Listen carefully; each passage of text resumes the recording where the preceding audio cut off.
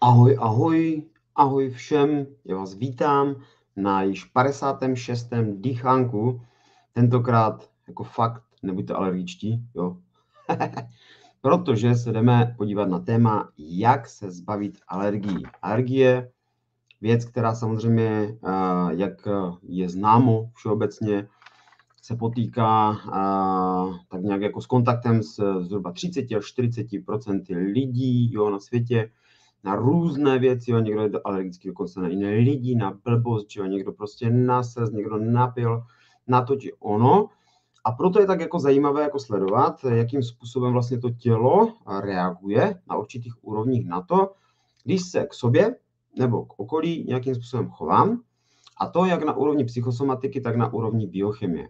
Proto by bylo dobré na začátek si uvědomit, vzhledem k tomu, že to téma je opravdu veliké, tak zkuste u toho tématu naslouchat, naslouchat i sobě, nejenom prostě tomu, co se tady prostě uděje.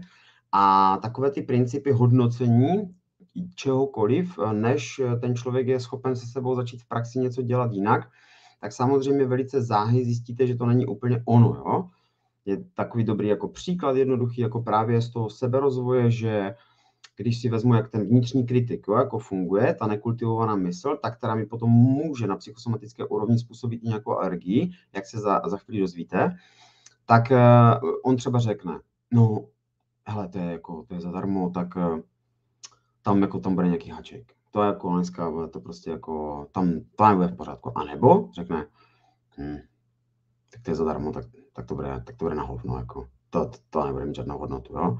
A potom si třeba tutéž věc koupí u někoho jiného za těžké lové a tam ta uh, mysl vyhodnotí, mm, tyjo, to je jako, to jako fakt je dobré, to je jako dobré, že? To je takový jako ten příklad toho, že třeba za, za trojku si úplně v pohodě koupíte prostě jako láhev vína, že a řeknete, ty kraso, to je jako parádička, že?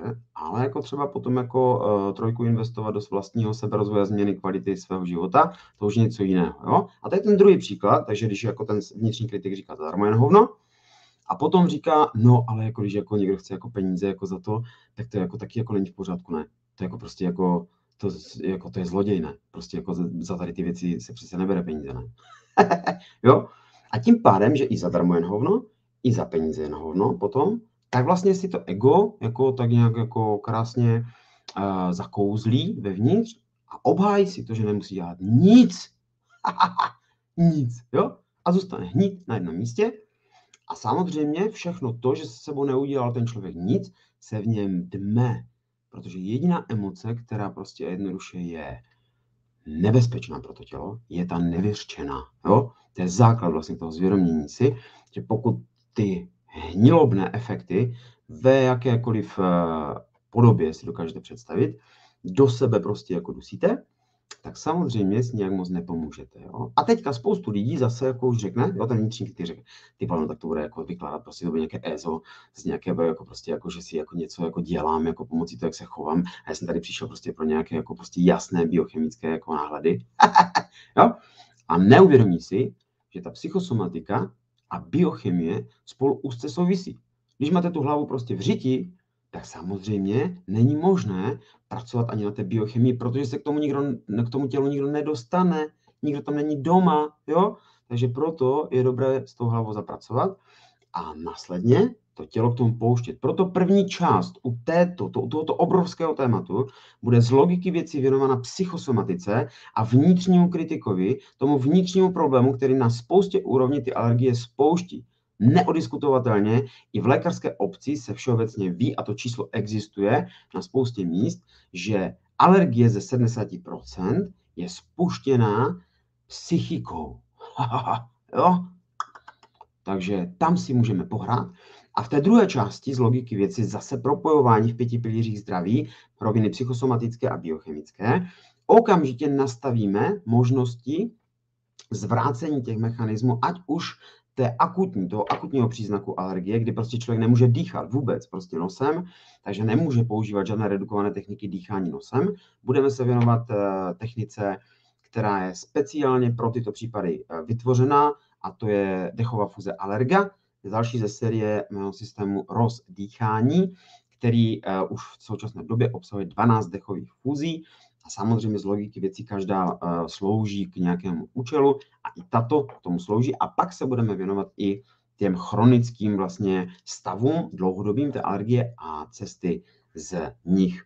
Stejně tak upozorňuji, že za chvíli, za 10 dní zhruba, bude uh, řešena už u vás doma naše kniha Změň svůj dech a, a začnou se dít věci, v které je všech pět pilířů zdraví krásným způsobem v soustažnostech, souvislostech uh, řešeno. Dá se ještě získat zde na tom odkaze 5pz.cz lomeno kniha, který vidíte tady teďka v spodní lajně. Říkám to jenom proto, že jenom do 7.9. je možné, nebo respektive asi do začátku září, protože potom už se bude dávat ven a Albatros to začne prodávat po celé republice úplně všude, ve všech knihkupectvích, ve všech e-shopech, prostě všude, všude, všude.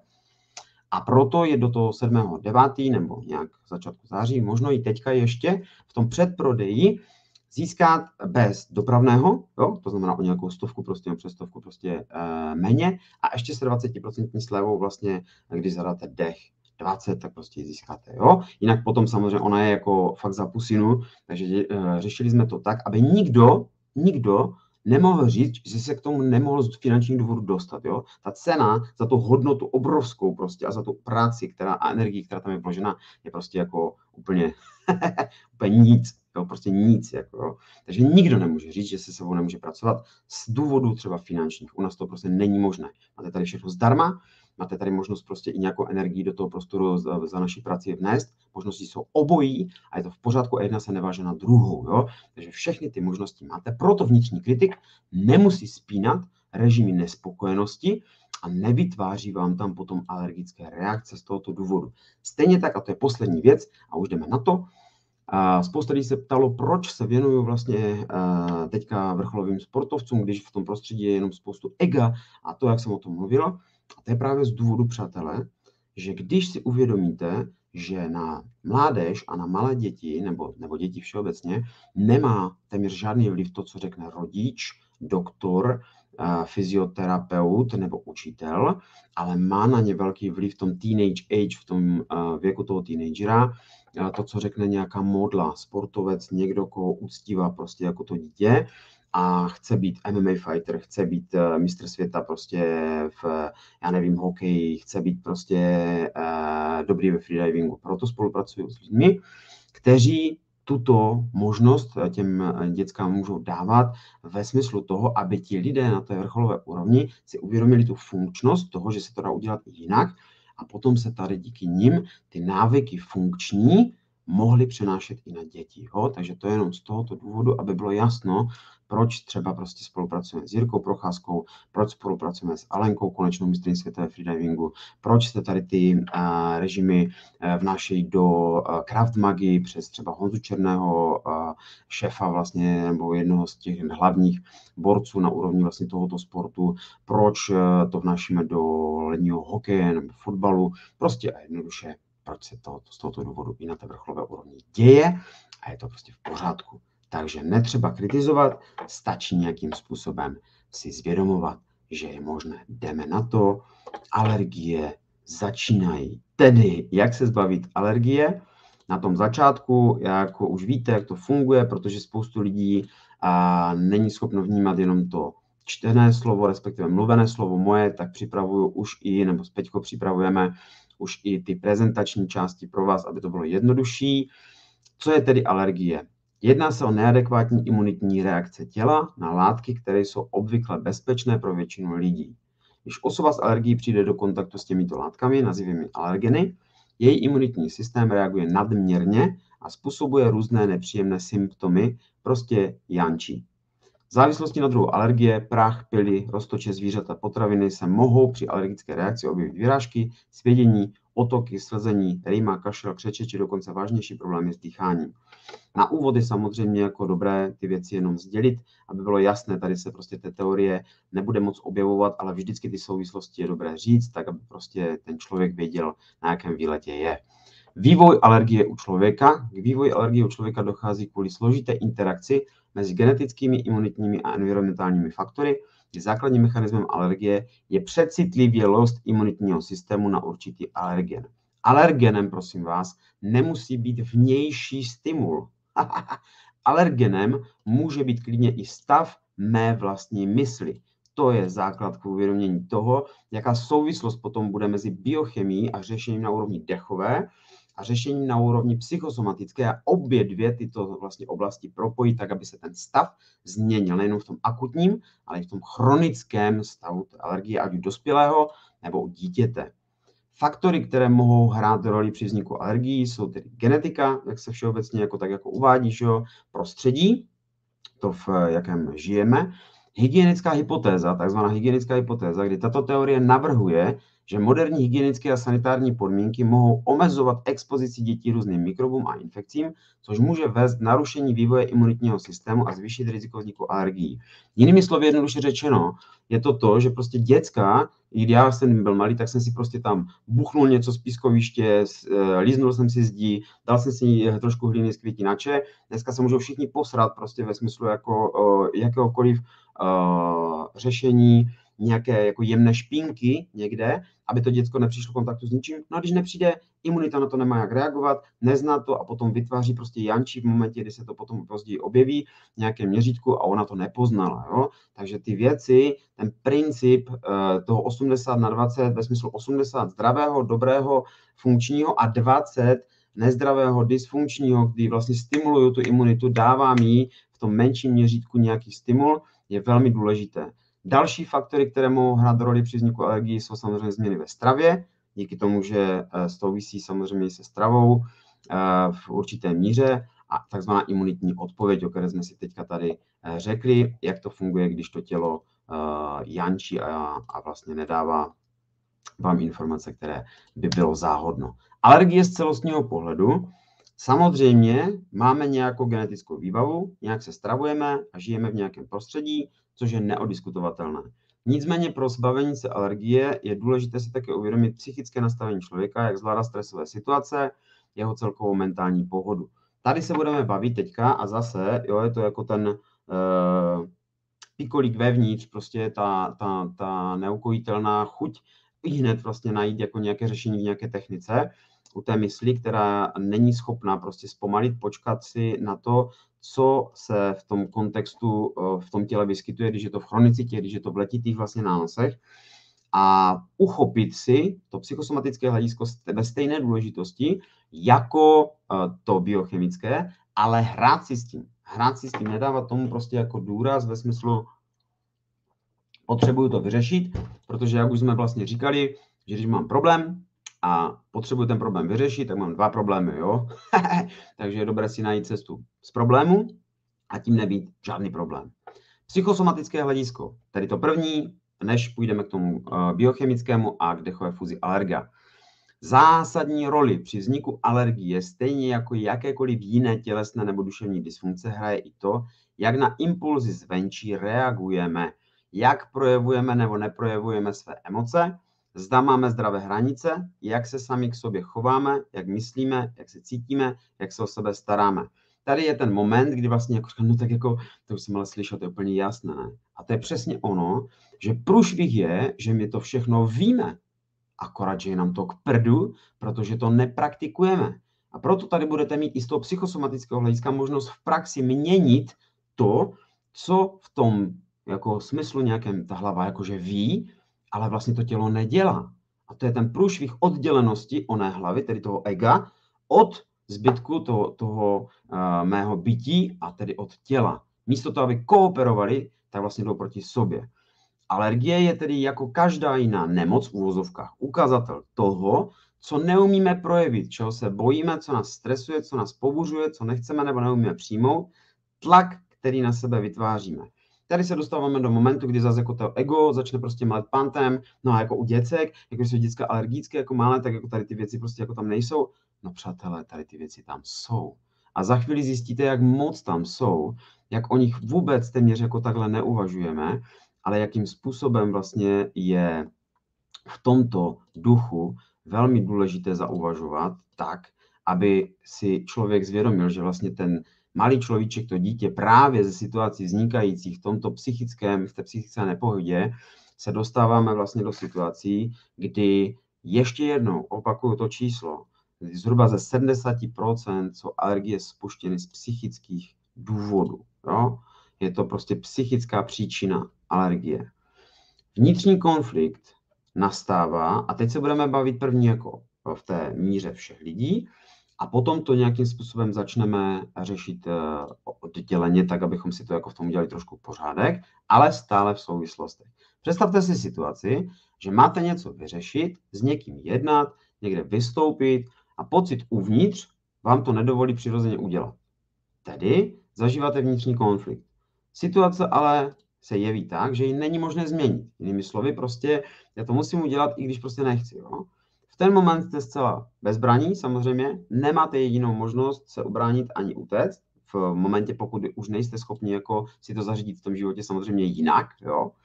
Takže jste vystaveni principu boju nebo uteč, všechno se tam prostě vevnitř jako začne vařit, jak vrnečku vář, ale ani jedno z toho z danou chvíli nemůžete udělat. Tedy ani bojovat, ani utéct. Protože vy jste přece jen vyvolený, který musí vyjednávat. Musíte být vlastně jako tam, který vlastně jako nějakým způsobem se musí projevit, ale ne úplně otevřeně, ne úplně přirozeně, a nemůžete situace ani utéct. Jo? To jsou vlastně jako ty věci, které nás tlačí, dávají nám vlastně jako to zvýšení té tepovky, e, oblije nás pot, stane se nám hrdlo, a v žaludku prostě to není úplně OK, jo. a tady ty věci, vlastně ty trémy a další vlastně mechanismu stresu, velkého množství vlastně jako takových těch nevyřčených emocí, o kterých jsme se bavili, bavili na začátku, které tam samozřejmě kdy ten vnitřní konflikt v tom nervovém systému, ten nervový systém není schopen takový nápor, ten tlak, jo, v momentě zpracovat a tak si vše ukládá. Jo. Ukládání, pokud si jako zvědomím, jak to zase funguje, jo, tělo na určité úrovni není hmota. Jo. Na vědecké úrovni děcka, ne na nějaké jako EZO nebo duchovní, na vědecké úrovni prostě není hmota. Jestliže se podívám elektronickým mikroskopem na tělo, tak prostě na, když jdu z buňky, do molekulárního, do uh, atomárního prostoru, do subatomárního prostoru, tak zjistím, že 99,99999% prostoru není vyplněno hmotou. Je to nehmotný prostor. A pokud si uvědomím, že třeba můžu jako nabírat váhu, že, tak jak já jsem teďka prostě nabíral díky tomu experimentu, prostě co jsme jako vymysleli s tou kyselou mléčnou, z kterého díky tomu, kolik jako se tam požadovalo jako váhy nahoru, tak prostě už jsem si odstoupil teďka sám na vlastní žádost. A už prostě eh, to dělat nebudu a tou váhou prostě už jako hýbat nebudu směrem nahoru, protože na Colors už to bylo opravdu šílené a tam mi to ukázalo jasně, že tudy cesta prostě jako už tím experimentováním nepovede, protože už není potřeba nikomu nic dokazovat, jo? A že prostě jako ty věci mají být v klidu, v homeostázi a tak si prostě už tu zpátky tam, kde je mi dobře a žádné takové napady fajné, už prostě jako mít do budoucna nebudu a v té homeostázi prostě si člověk setrvá. Proto, když se ukládají jako třeba i tuky, jo, ukládá se to tam prostě, jako je toho moc, že všeho je moc prostě, to tělo to metabolicky není schopno přijmout, tak se najednou prostě jako zvětšujete, jo. A když se tam ukládají informace, což vlastně na určité úrovni, když jsem mluvil o tom subatomárním prostoru, tak jsme jenom informace. Jsme jenom energie, nějaká myšlenka, nějaká vibrace na té subatomární úrovni, proto je možné prostě potom myšlenkama ovlivňovat určitý stav vlastně i toho fyzického těla a proto je možné i uvažovat o tom vnitřním kritikovi a vnitřním konfliktu z tohoto úhlu pohledu. Nervový systém tedy není schopen takový nápor v momentě zpracovat a vše si ukládá. Strachy byste nejraději křičeli nebo se rozbrečeli, ale své emoce neprojevíte. Nejhorší věc, která se vlastně může stát. Váš vnitřní kritik vám to nedovolí, nedovolí vám ani ze situace odejít nebo proti ní bojovat. Vzniká vnitřní konflikt a ona známá situace, že jediná emoce, která je opravdu nebezpečná, je ta nevyřčená. Tak, jak jsme se o tom bavili. Vzhledem k tomu, že situace, která později podnítí propuknutí alergie, je ta, která vlastně v tom vnitřním kritikovi, v tom vnitřním konfliktu nastává díky vám samotným. Jo? Díky s vám samotným vlastně v rámci toho, jak reagujete na dané podněty, protože už nemáte žádnou z těch dvou variant boju nebo uteč vlastně jako k dispozici, respektive řešení jiné než, ty, než eh, tyto dvě a proto se vlastně ocitáte v tom neřešení, jo? neschopnosti vlastně se z toho dostat a ukládají se vlastně ty nevyřčené eh, situace dovnitř. Stejný princip tedy nastává u situací, ve kterých nechcete být.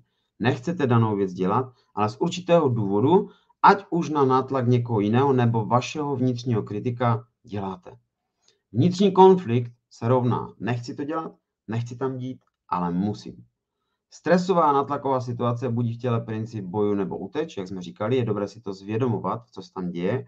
Když chcete reagovat obranou reakcí, ale z nějakého důvodu nezareagujete, nebo v dětství mnohdy zareagovat ani neumíte a vše v sobě potlačíte. Tady jsme vlastně jako v tom momentě, kdy to není o tom, že prostě já musím na někoho druhého řvat, prostě jo, že jako mi řekne nevěřčená emoce, no tak prostě teďka jim to všechno jako nadělím a seřvuje tam na první dobrou všechny jak alíky, to není prostě o tom, tady jde o tom kultivovaně se uh, učit s danou situací vyrovnávat nebo do ní vůbec nevejít. Jo? A nebo ji nevytvářet někomu druhému, jako třeba rodiče svým dětem. Co se budeme bavit právě o tom, proč se u těch dětí ta alergie třeba může objevit, když sami, vlastně jako tady je ten, to ego naše říká, že, že vlastně si to vyvolat jako nemohou sami. No ano, díky tomu, že fungují v principu nápodoby, tak jim to vyvolá třeba někdo jiný. Že v principu toho, jaké jim vytvoří prostředí, a potom to dítě díky tomu, že o tom, o čem se tady bavíme, že není schopno vlastně jako to nějak vyřešit, tak to v sobě prostě potlačí. A všechny ty věci se ve něm, v něm vaří způsobem, kdy se to samozřejmě dřív nebo později na tom fyzickém těle projeví. Situace tedy, která později podnítí propuknutí alergie, v těle se tímto vnitřním konfliktem a projevem naschromáždí adrenalin a kortizol. Emocionálně je ve vás v daný moment nashromážděn hněv, váš imunitní systém si zapíše nebezpečí díky vašemu hormonálnímu nastavení, vaše podvědomí si uloží každý detail daného momentu, vaše smysly zaznamenají, co jste viděli, slyšeli, jakou chuť to mělo, na co jste sahali. Tohle vše imunitní systém zařadí do kolonky nebezpečné.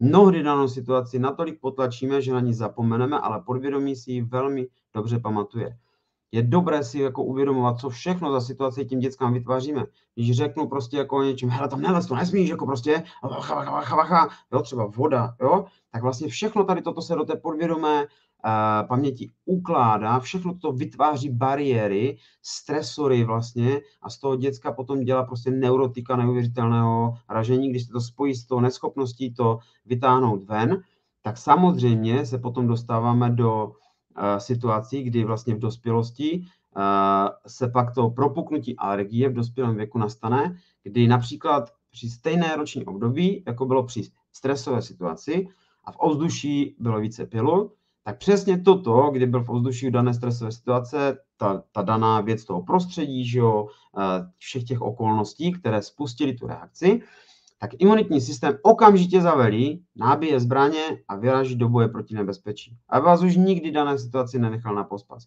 Tram tadadá, například ve 40 lety, ťuk ťuk, ahoj, já jsem tvá alergie. Jo? To je ten příklad toho, případ toho momentě, kdy se to stává v dospělosti po nějaké době, kdy vlastně jako člověk nechápe, kde se to jako prostě přihodilo a kdy ta opakovaná vlastně jako činnost, kterou pořád ten člověk sobě potlačuje, tak nějakým způsobem mu dává najevo, této rovině, že to není v pořádku a on si samozřejmě naděluje strašným způsobem. A jsou to ty stejné případy, jako když se někomu objeví po nezměněné situaci třeba autoimunitního nemocnění, koronová choroba prostě, nebo v dalších případech, eh, eh, já nevím, cukrovky druhého typu, eh, Parkinson, prostě jako spousty režimů vlastně toho, že se jako neví, kde to vzniklo. No chováním to vzniklo chováním k sobě, letitým dysfunkcím, kdy to ego si myslí, že prostě jed na prázdno, nebo jed v bombení, nebo jed v nevyjádření sebe sama, je prostě v pořádku. A že tak má být. Jsem přece ohleduplný, prostě ne. A ta ohleduplnost vlastně nevadí, že opostroňuju sebe. Jo? Nebo na druhou stranu, že prostě jako dávám na odiv sebe prostě směrem ven.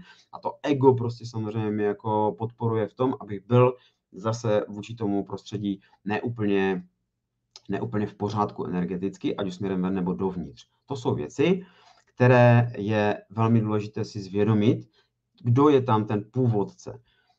Psychosomatická stránka je opravdu velmi dlouhá, velmi obsáhlá rovina, proto je tady věnována ta část první. A v té druhé, v té biochemické dechové, si samozřejmě v té praxi osvětlíme ty možnosti, jak to změnit i v té dechové stránce. I v té psychosomatické samozřejmě tady budou řešení, jakým způsobem to, to změnit. První změna je ale už to spozorovat. Když to spozorujete, můžete začít měnit. Jo? Třeba i už v dané situaci se zachovat jinak. Někdy se tedy nemusí jednat o nějakou na první pohled zásadní stresovou situaci, ve které vzniká vnitřní konflikt, ale může jít o více menších vnitřních konfliktů, které se prostě v člověku naschromáždí za určitou dobu. Tak dlouho se chodí se čbanem pro vnitřní konflikt, až se ucho utrhne a je tady alergie. Například pokud dlouhodobě potlačujeme třeba i svou živočišnost, obvykle i v sexuální oblasti, chtěli bychom se projevit nespoutaně, ale to se přece nehodí nebo není druhým přijímáno, můžeme si zadělat na alergii na kočičí srst. Jo? Takový jako příklad zajímavý. Kočka rovná se šelma, neskrotné zvíře, které si za každé situace dělá, co chce.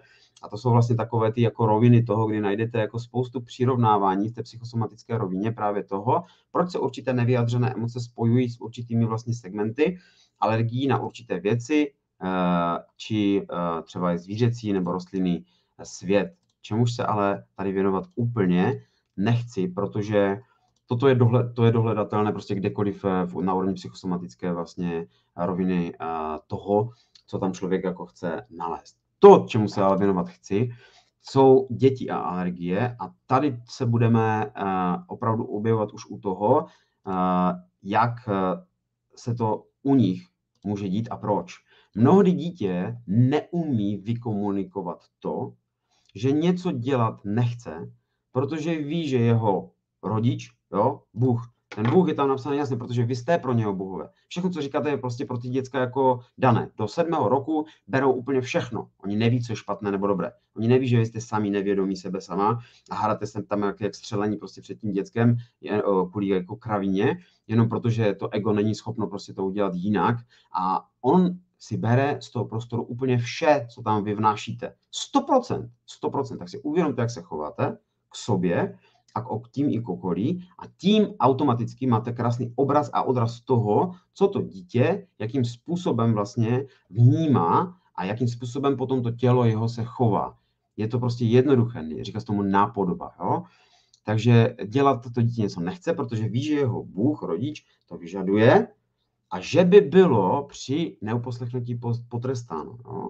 To znamená, neumí vykomunikovat, že něco prostě dělat nechce ví, že to rodič prostě jako vyžaduje a proto prostě jako si říkám, ty, tak jako, no dobře, tak já to prostě nějak uh, udělám, jo, sklapné takzvané krovky, to ego toho rodiče je spokojeno, já jsem vyhrál, že, prostě nad svým dítětem, a nebo dítě nechce poslouchat hadky rodičů, ale musí, jo, protože ti rodiče nejsou schopni to prostě jako udělat jinak a myslí si, že ta hádka je jiným řešením, No a samozřejmě v ten moment jako si zase v lese, jo, totálně, protože pokud nejsi schopen jako zvládat situace ve smyslu konfliktu a nechápeš, že už samotné vejtí do konfliktu je prohra, tak samozřejmě ani tomu dítěti jako nemáš jak pomoct, jo. Dojde tedy u toho dítěte k vnitřnímu potlačení hněvu, křiku či pláče.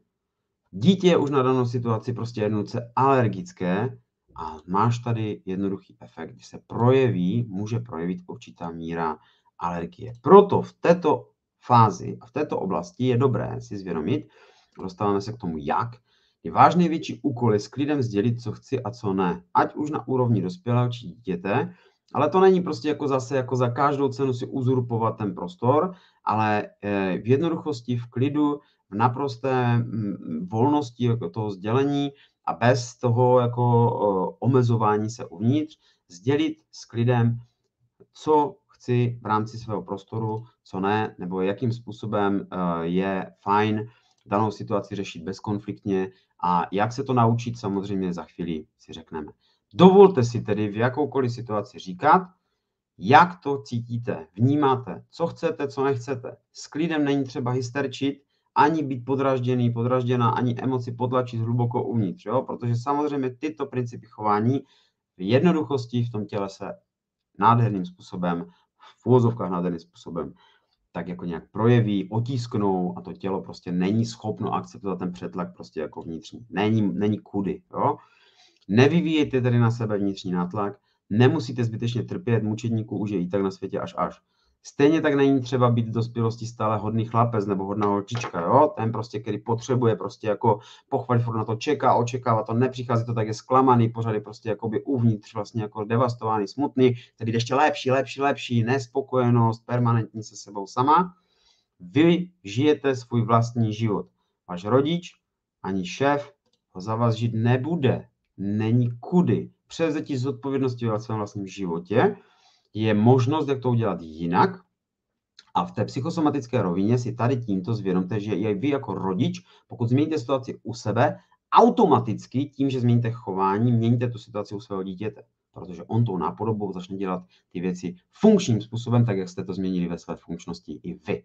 Ohledně mentálního nastavení doporučuji u nás, vše je tam zdarma, jo?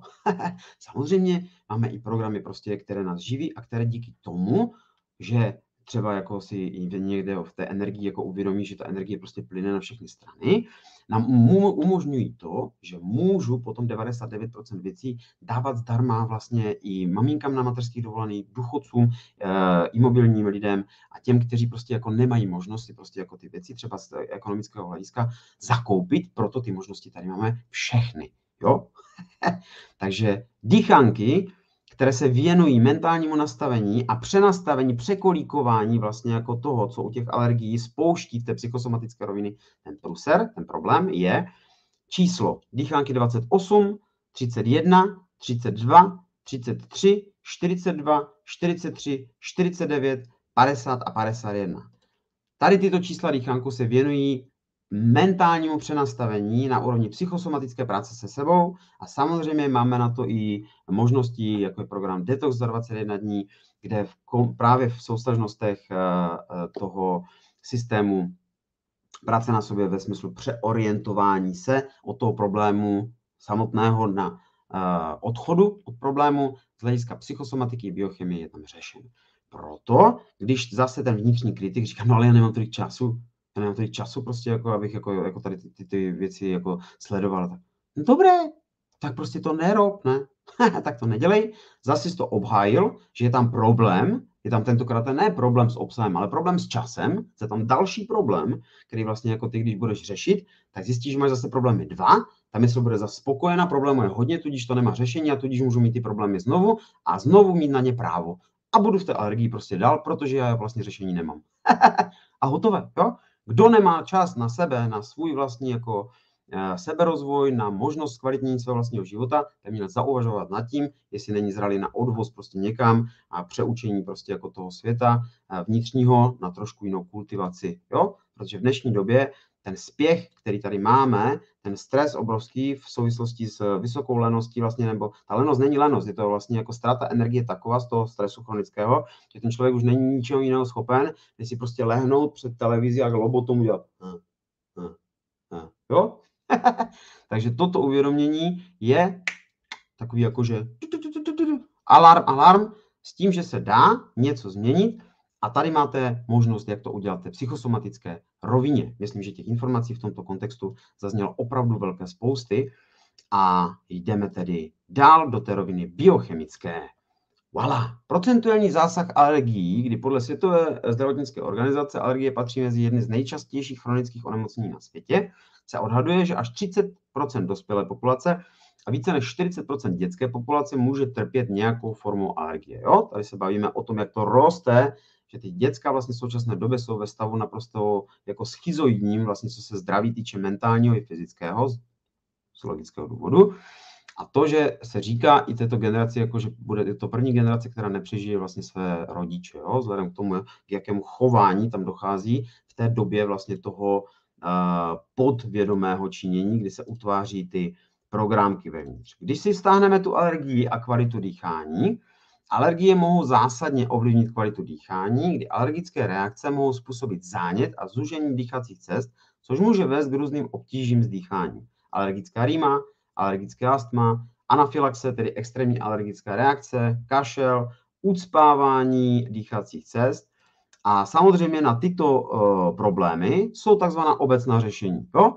Takže obecně můžeme řešit, eh, že se vlastně budeme identifikovat a vyhýbat se alergenům. Jo? To je ten pohled zvenčí, určitým potravinám, zvířecím chlupům, pilům, roztočům, chemikalím. Nedám si prostě jako dohromady, že to nějakým způsobem má nějakou příčinu někde v historii a půjdu po ní, ale půjdu jako jenom takhle jako fakticky. Potom je to farmakoterapie, že jo, kde jsou obvykle předepisovány antihistaminika k potlačení reakce histaminu, kortikosteroidy ke snížení zánětu, dekongestanty k uvolnění dýchacích cest a tak dále. Dále je možnost alergenová imunoterapie, očkování proti alergiím, změny životního stylu, že jo, podpora imunitního systému, zdravou strávu, dostatkem pohybu, redukce stresu, dostatkem spánku, které mohou podpořit imunitní systém a celkově pomoci snižovat alergické reakce. Jo? Toto všechno jsou možnosti, které samozřejmě jsou na stole, je fajn se o sebe starat jako ve smyslu funkčnosti, je fajn prostě změnit životní styl, uh, i v principu pěti pilířů zdraví, je to prostě holistický přístup k sobě, změna vlastně jako na úrovni toho, jak se ten člověk díky sobě samému může cítit, proto i další alternativní řešení alergie, jako je třeba akupunktura, nebo homeopatie, nebo bylinné léky, nebo probiotika, nebo změna stravy, že jo, vynechávání určitých prostě výrobků, eh, je možnost, jak tady ty situace prostě řešit. To je možnost. To není o tom, že jako najednou by se jako jeden směr stal jako jediným možným, proto nikdo tady neříká ani nevykládá, že mám pravdu, je to jenom možnost, jakým způsobem ty věci udělat jinak, které fungují spoustě lidem, díky nim samotným a proto je dobré se vlastně jako zpomalit sám sebe v tom jako umělém vlastně zrychleném tempu něčeho, že si jako prostě jenom zvědomíš, kam furt spěcháš a v tom momentě si dá tu možnost si spoustu věcí uvědomit a třeba i řešení alergie pomocí vlastního dechu, k čemu se teďka dostávám. Ačkoliv je šíření jakékoliv alergie či infekce alarmující, bylo prokázáno, že dýchání nosem vede k celkově pevnějšímu zdraví. Dává proto logický smysl vzhledem k tomu, že NO, oxid dusnatý, nabízí obranu proti vzduchem přenášeným virům, že dýchání nosem dokáže podpořit přirozenou odolnost těla proti infekcím, patogenům a alergenům. Ačkoliv dýchání nosem nedokáže zaručit, že nikdy nechytíte další nachlazení chřipku nebo se u vás neprojeví astmatický či alergický záchvat, začíná být čím dál jasnější, že tato malá změna každodenních návyků může představovat výrazný rozdíl v kvalitě vašeho života. A teď se dostáváme vlastně zase k tomu, že ta, to ego, jo, jako řekne, no, dobré, tak jako ty jsi jako fajný, jako jo, ale když já prostě jako mám tu alergii, tak prostě já nemůžu dýchat nosem vůbec ne, tak jak tam mám jako asi řešit jako nos, ne, tak jako se zpamatuj. a zase jako je to tady, jo, to právo na to, že vlastně já jsem v takové dysfunkci, která není řešitelná prostě nosem, tak já nemů, nemůžu dělat nic, jo. Můžeš, můžeš, jo. Úplně v klidu můžeš, jo. A tady nastává ten moment, kdy se budeme dostávat do dvou situací. První, řešení té alergické reakce v tom akutním stavu, kdy to tělo není schopno dýchat nosem, kdy je tak zahleněno, tak, za, tak vlastně zduřele jsou ty sliznice, tak je mimoidní ten stav, že samozřejmě eh, v ten moment, když někomu řekni jako odejdi od vnitřního konfliktu, jo, a tě pošle do, do řiti, protože on potřebuje dýchat. Jo. Proto se postupně vyzkoušely vlastně techniky, možnosti práce se sebou na úrovni uvolnění těch, těch dýchacích cest. A tady tu techniku, kterou vlastně teďka budeme dělat, eh, dechovou fuzi alerga, jsem vlastně postupně poskládal, vytvořil tak, aby eh, bylo jasné, jak to funguje, aby si ten člověk sebou sama mohl nadělit tuto možnost a samozřejmě je funkční. Je funkční. Když nechceš hnedka výsledek na první dobrou, tak já pořád opakuju, podívej se, jak dlouho trvá děcku, než prostě začne chodit a určitě to v polovině nevzdá a nezůstane ležet na zemi, prostě jenom protože ego se rozhodlo, že prostě chodit nebude, bo tam v tom malém děcku žádné ego ještě není. Proto to je možné, jo? I úroveň mozkových vln do, no, mozkových vln do dvou let je jenom v těch delta vlnách 0,5 až 3 Hz, kde my se dostáváme složitě do toho podvědomí právě třeba dechovou fuzi delta. Za normální okolnosti jsme v beta vlnění, v 35 až 18 Hz, máme tam bordelu, jak maku, a samozřejmě v tomto principu to není možné. Proto u těch děcek to funguje prostě úplně jinak a je dobré se učit od toho dětského světa, místo toho, abych měl pořád tendenci ten dětský svět mentorovat já. Dechové fúze alerga, teda dechová fúze alerga, tedy řešení akutního stavu. Přitom, když tím nosem dýchat nemůžete, je tady v této chvíli v praxi k dispozici jako možnost. Jo? Máte to opravdu jako možnost, kdy třeba letíte věci, které to tělo neumí vyřešit, tady od nás máte jako možnost řešit i hned a spolu potom s těmi chronickými vylepšeními toho stavu je možné pak vlastně se postupnými kroky, takzvaným systémem práce na sobě Kaizen, tedy krůček po krůčku, malými krůčky k obrovskými změnám, dávat tomu tělu možnost uh, se z té dysfunkce dostávat. Dechová fuze alerga, tedy řešení akutního stavu.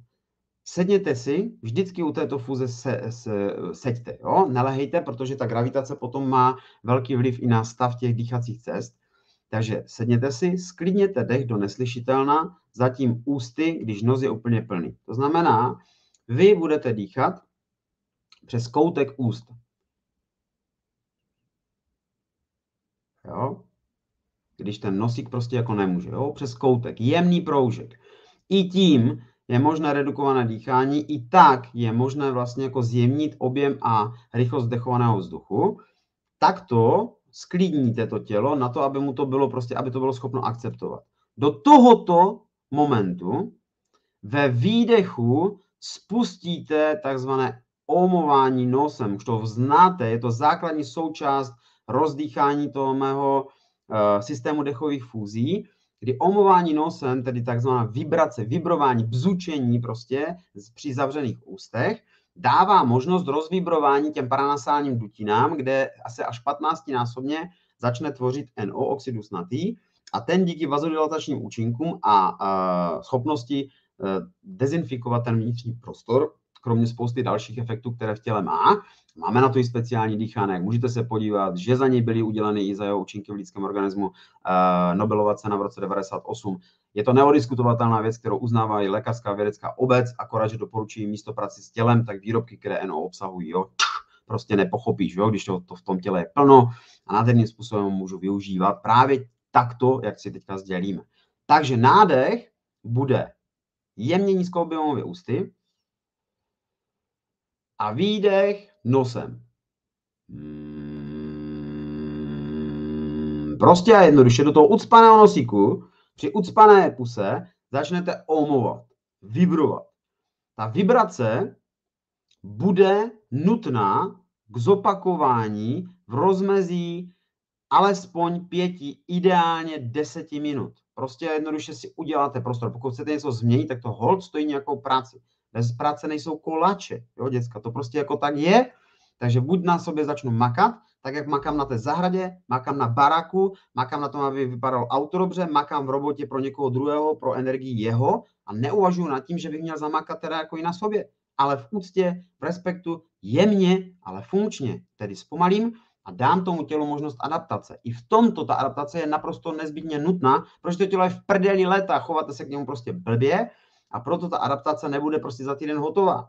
Prostě to bude chvilku trvat. Je to trvalo taky půl roku prostě, než jsem se dostal z těch úplných sraček. Jo? To tak prostě je.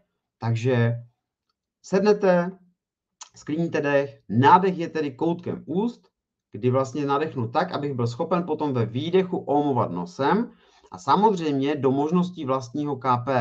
KP neboli kontrolní pauza, kvalita dechového vzorce, je velmi důležitá informace, která potom slouží právě pro ten chronický stav dlouhodobí těch alergií, na to, abyste si vlastně zlepšili kvalitu dechového vzorce. Na konci se dozvíte o tom, kde to najdete, prostě jednoduše tak, jak jste u toho psychosomatické části měli ty dýchanky, tak budete mít potom možnost samozřejmě u té chronické řešit navyšování kvalitu dechového vzorce a navýšení KP. Zjistíte taky, co to je. Jazyk musí být na horním patře, aby se vibrace přenesla do paranasálních dutin, kde 15krát navýšíte extrakci NO, jak už jsem řekl. 15 násobek vlastně oxidu dusnatého při jeho vylučování z těch paranasálních dutin. Omujte tímto způsobem až do uvolnění nosu, kde bude možné po cirka 5 až 10 minutách se poprvé nadechnout nosem. Takže jsou to věci, kdy ještě jednou, jo, bude to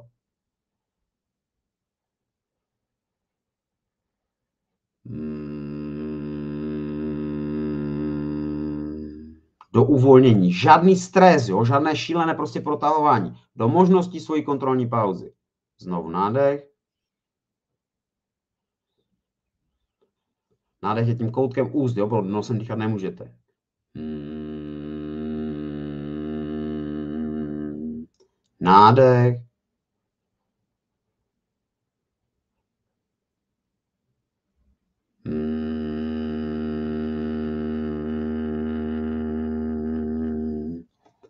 Takto pokračujete 5 až 10 minut. Proč 5 až 10 minut? Protože až poté se mění vlastně situace nejenom v krvi, ale i v rámci neurorecepce, v rámci chemoreceptorů, které vlastně jsou schopny vnímat určité chování až po určitém čase a dávají možnost vlastně potom změně na uh, úrovni uh, vazodilatačních efektů v tom, že se vám ty zduřelé sliznice prostě jednoduše upostraní díky větší uh, extrakci NO, začne ten nos být volný, můžete si to vyzkoušet i ti, co prostě ten nos ucpaný nemáte. Že když budete omovat 10 minut při zavřených ústech, potom z výdechu nosem, nebudete se stresovat, budete akceptovat úroveň své KP, tak automaticky dojde prostě k rozestření toho vnitřního prostoru a dýchá se člověk úplně neuvěřitelným způsobem. V případě, to není celé, jo, přátelé, to není celé, jo.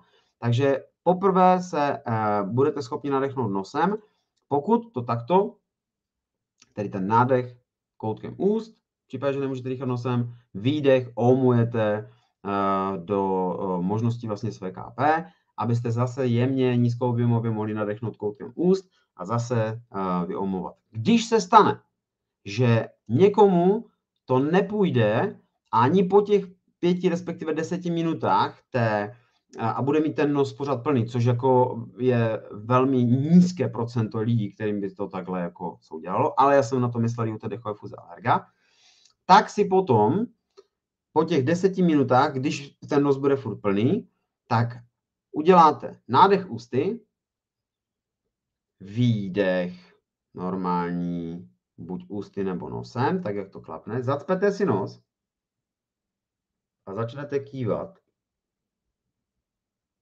až do maximální potřeby se nadechnout. Až budete potřebovat se nadechnout, pustíte nos a pokud nepůjde nadechnout nosem, vy to vyzkoušíte, jo? Tím, že vlastně kývete, tak se vám nenavyšuje NO 15 násobně, ale až 100 násobně, jo? To je prostě jako pecíčka naprostá bomba. Tak se nadechnete prostě uh, uh, nosem, pokud to nejde, tak budete i u tohoto činění jemně nadechovat ústy. Jo? Takže když ještě jednou po tom vibrování, nádech ústy, vibruju nosem 5 až 10 minut, když se ani toto, ta první část té dechové fuze alerga, nepodaří v uvolnění těch cest, tak pak zmáčknete nos po výdechu, v bezdeši nedýchejte do maximální potřeby se nadechnout a u toho kývejte hlavou zleva doprava nebo dopředu dozadu, kdy uvolníte tím zduřelé sliznice horních cest dýchacích, pak puste nos a dodýchejte v klidu nosem do úplného sklidnění, nebo pokud v tom prvním kole toho kývání uh, se ještě nepodaří nosem, tak v jemnosti uh, ještě pusou, ale pak určitě, když ten proces zopakujete třikrát, takže vy, dám příklad, jo, omuju, omuju, omuju 5 až 10 minut, teď mi to prostě jako neklapne, na tom konci, což samozřejmě se téměř nestane. Ve valné většině případů to omuvání prostě uvolní ty cesty. Když se náhodou nestane, nádech, výdech, po výdechu zmáčknu nos, kývu do maximální potřeby se nadechnout v klidu, pustím, když se už cítím, že prostě ta potřeba nadechnout se je, vdechnu jemně nosem nebo koutkem úst, pokud nemůžu nosem a pomaličku dodýchám. Dodýchám v klidu, buď nosem nebo ústy, Až jsem v klidu, zopakuju znovu kývání v bezdeší, po výdechu zmáčknu, kývám, zase do potřeby se nadechnout, znovu maximálně tři kola. Jak se prostor uvolní, tak po něm znovu zkuste pomalu pozvolna nadechovat nosem a omovat ve výdechu cirka 2-3 minutky. 2-3 minutky vlastně omování, zase potom cyklu toho, těch zádrží vlastně v tom kývání, protože tím, že ten nos zmačknete, tak se tam samozřejmě jako eh, vytvoří ještě nějaká, nějaký prostor díky tomu, že těch dysfunkcí je tam spoustu, je tam hlen, nalepuje se vám to tam všechno, tak to omování vám to prostě potom pročistí. Takže když to s, řeknu jako celek, dechová fúze alerga v té úvodní části je 4 až 5 minut omování ve výdechu nosem s tím, že nádech je koutek úst, je to řešení té akutní alergické reakce, kdy nemůžete dýchat nosíkem.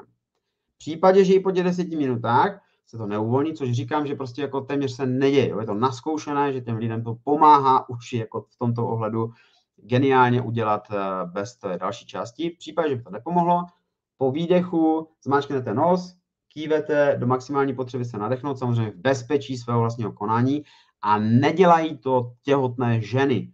Tak jako žádné zádrže žádné zadržení hyperventilační techniky nedělají těhotné ženy. Jo?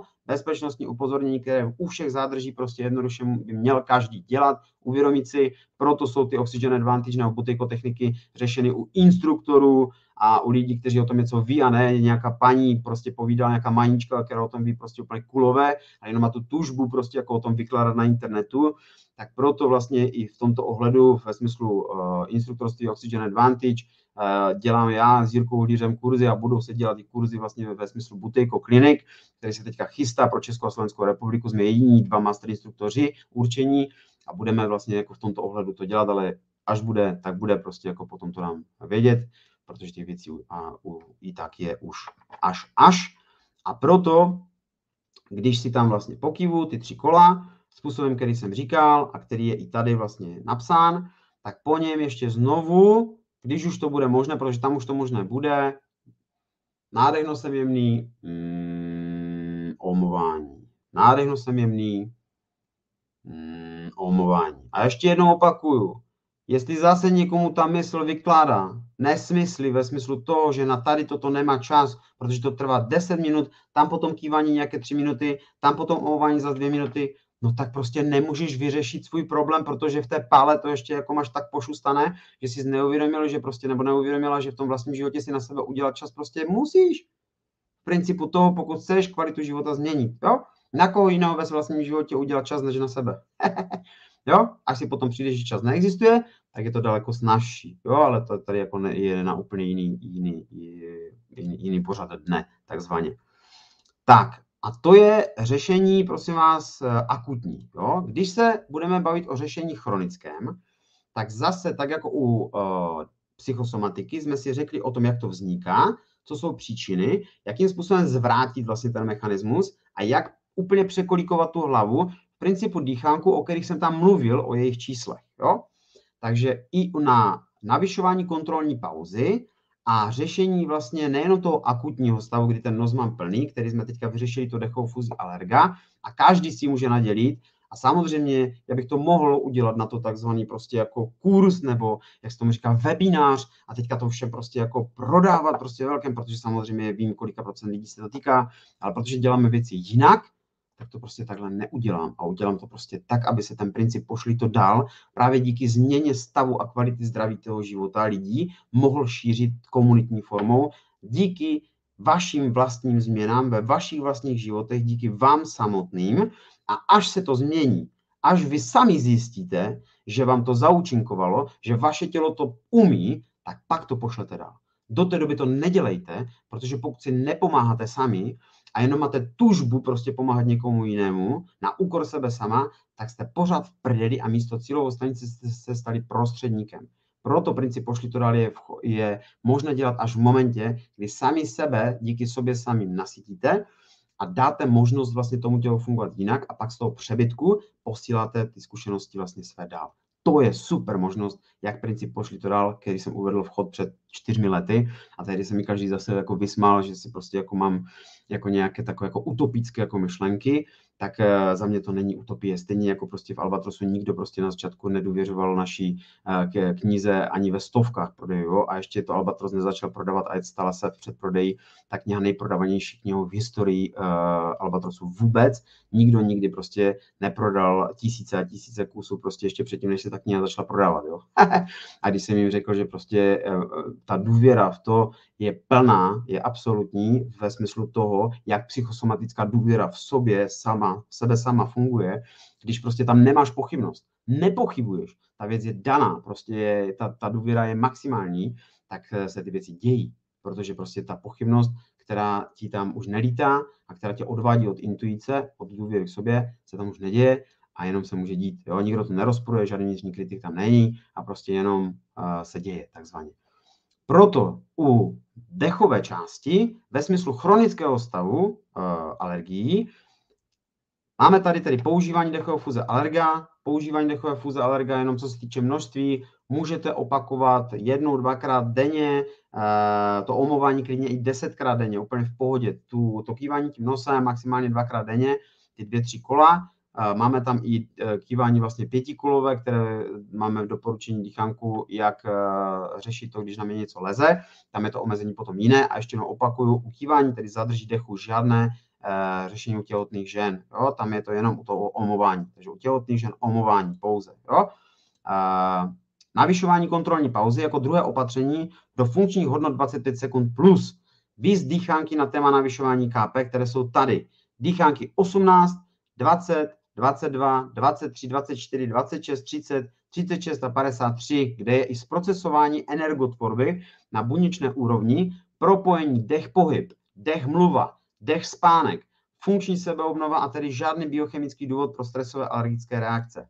Toto jsou věci, které když vám dojdou, že to tímto způsobem je možné v tom těle propojovat, začnete si s tím hrát, to hraní s tím vám dá možnost odejít od toho problému samo, protože už ta mysl nemá jako tu tužbu pořád řešit problém, pořád být v tom ublížení, té oběti, ale v tom, eh, já tomu říkám princip dospělost hrou, jo? že si začnete hrát a i v té knize vlastně eh, naší Změň svůj dech a začnou se dít věci, je právě ta hra součást vlastně toho soukolí, kde humor, nadhled, vtip, ta ptačí perspektiva dává možnost úplně jiného úhlu pohledu tomu problému, za kterého naše schizoidní ego považuje a lituje se do úrovně vlastně maximální hodnoty neschopnosti ten problém vyřešit, protože ta lítost nad sebou, ten strach a prostě tady ty depresivní úzkostné stavy přehlušují možnost vyřešení toho problému díky neřešení toho problému samotného, ale odejítí pozorností od toho problému k něčemu funkčnímu. to je vlastně klíč k tomu udělat to jinak. Proto ještě jednou, polovině tohoto vysílání zhruba byly dýchánky na úrovni řešení psychosomatické roviny alergií. Tady tyto dýchánky řeší vlastně tu biochemickou formu navýšení kontrolní pauzy a změnění stavu chronického dysfunkčního stavu těla, nejenom u alergií samozřejmě, ale u všech neurotických eh, nebo dechových i pohybových problémů postupně vlastně se člověk dostává do tzv. homeostáze, vnitřní rovnováhy tlaku, vnitřní rovnováhy endokrinní soustavy, vnitřní rovnováhy vázanosti dechového eh, aparátu na srdíčko, takzvanou RSA, respirační sinusové arytmie a HRV, heart rate variability, variability srdečního tepu, a tyto mechanismy vlastně spouští novou, nové podobenství těch dysfunkčních rámců, jako je astma, alergie, dušnost a na druhé straně deprese, úzkost, fobické stavy, panické ataky a věci, které vlastně souvisí i s tím, v jakém stavu to tělo je, eh, co se týče eh, váhové dysfunkce, v jakém stavu je, co se týče mentální dysfunkce, fyzické dysfunkce. A toto řešení v souvislostech je právě princip 5PZ, tedy 5 pilířů zdraví. A i v této knize, jak jsem řekl, na odkaze 5pz.cz kniha do uh, eh, 7. září v možnosti předprodeje uh, je to tam omezeno, bylo mi sděleno teďka lidem, že to omezili na počet 10 knih, že to není možné koupit ve větším množství uh, po, počtu knih na jeden mail ani, protože by to asi potom už jako nebylo možno nějakým způsobem jako včas vám doručit takzvaně. A ještě jedna situace tam vznikla, že spoustu lidí uh, řešilo uh, ten takzvaný prodej přes sebe, když by to chtěli ve svých obchodcích nějakým způsobem, tak tady přes toho člověka petr.kříž zavinač albatrosmedia.cz je možné se s ním spojit a řešit potom, jako kdybyste to chtěli jako nějakým způsobem tu knížku řešit jako přes sebe, taky je to možnost, jo. Takže u těch alergií nezapomeňte na to, že možnosti té práce na sobě jsou z principu biochemie, psychosomatiky, kdy vy propojíte ty dva, tyto dva světy, stejně jako propojíte řešení akutní dysfunkce, dechovou fuzi alerga, kterou tady jste dostali, máte ji prostě všichni k dispozici, nikdo nemůže říct, že nemůže prostě na sobě pracovat, může, a vyřešení vlastně těch chronických věcí tím, že si zase, zase se sebou začnete hrát v principu těch dýchánků, ať už na úrovni dechové nebo na úrovni psychosomatické, a nebo potom v energii třeba věnované i ve smyslu programu, které tam prostě pro e, některé z vás taky jsou v principu toho, že když nemáte čas na hodiny a hodiny dýchánku, tak ty programy jsou prostě jednoduše korigovány ve smyslu jako času a je to možnost i e, tímto způsobem vyřešit. U nás je možné totiž vše. Můžete, nemusíte. Takže nezapomeňte, že radost radost, dělejte radost hlavně sobě a až toho přebytku potom dávejte druhým. Tam už potom neuvažujte kolik, protože čím více do toho prostoru svého přebytku leze, tím více vám z logiky věci vrací zpátky. Mějte se krásně a ahoj ahoj.